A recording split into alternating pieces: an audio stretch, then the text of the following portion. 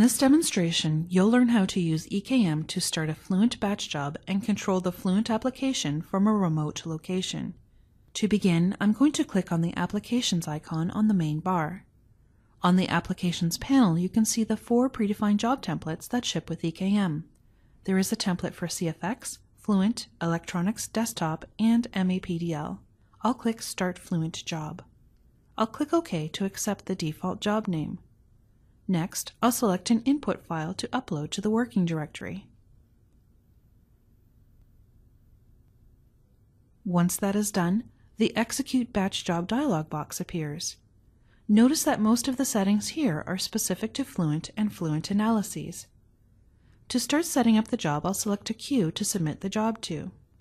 I can then specify the job submission settings. For this job, I'm going to set the dimension to 2D.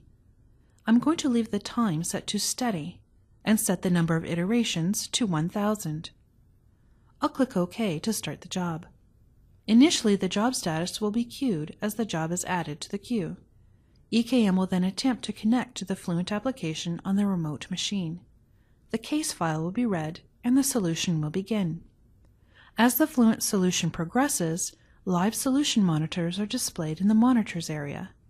A toolbar is displayed in the top right corner of the job status window. I can use this toolbar to control the Fluent application, even though Fluent is running on a remote machine. Initially, the toolbar will have two buttons, Pause and Interrupt. I'm going to click the Pause button to pause the solution. Notice that the toolbar changes to reveal more options. I'd like to specify how often files are autosaved during the solution, so I'll click the Set Autosave Frequency button.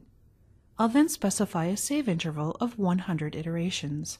If I were solving a transient case, I would be prompted to specify the interval in time steps instead of iterations.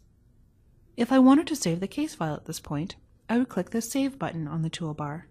The case and data files would be saved in the working directory. The working directory is a directory on the compute server where job files are staged. Now let's say that I want to enter some Fluent commands to further control the solution.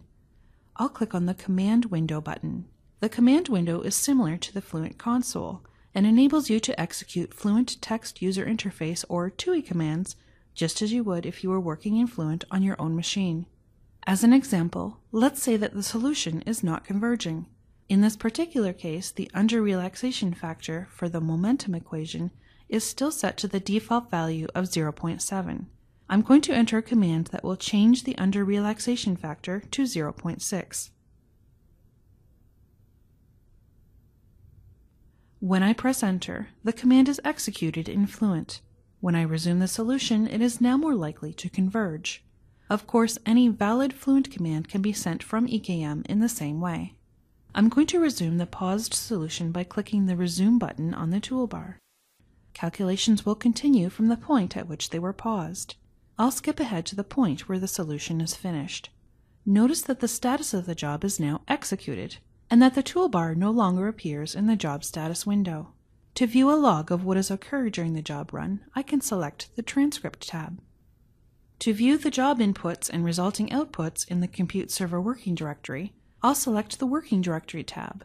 I can download any of these files to my machine or to the EKM repository. I'd like to copy the results to my machine, so I'm going to select the results file. Then click the Download to Local System button. The file is automatically downloaded to the default download location on my machine. This concludes the demonstration on using EKM to remotely control ANSYS applications.